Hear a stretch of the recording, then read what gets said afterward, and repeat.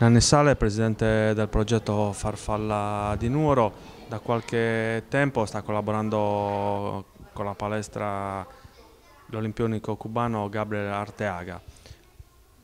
Innanzitutto chi è e quali sono gli obiettivi di questa collaborazione? Allora, uh, Gabriel Arteaga è un, un olimpionico, un ex della nazionale cubana, eh, ha 42 anni Ehm, è stato uno degli atleti più rappresentativi che Cuba abbia mai avuto nella categoria 81 kg. Eh, ha fatto due Olimpiadi, una a Sydney e l'altra ad Atene. Ha vinto mm, per tre anni consecutivi il Guido Sieni di, di Sassari, che allora era una delle, delle, gare più importanti nel circuito mondiale di judo.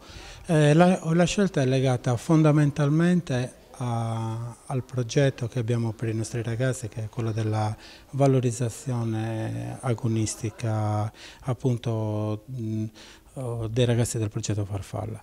Eh, abbiamo deciso di andare in Italia a combattere, stiamo andando anche in Francia eh, e questo fa sì che questi impegni agonistici, agonistici siano anche valorizzati da un tecnico di questo livello perché la valorizzazione appunto dei, eh, dei ragazzi deve essere eh, a livello tecnico molto molto molto alta e, e, appunto seguiti anche da tecnici di questo spessore.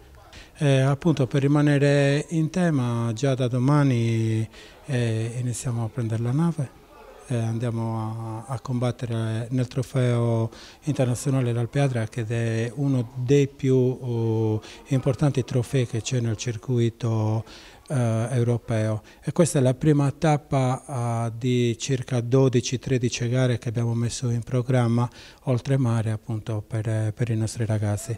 E poi c'è anche una ragazza che stiamo oh, valorizzando anche a livello europeo che abbiamo deciso di fargli fare anche l'European Cup, eh, essendo lei insieme ad un'altra ragazza di Cagliari l'unica ragazza in tutta la Sardegna che possono fare questo, questo trofeo.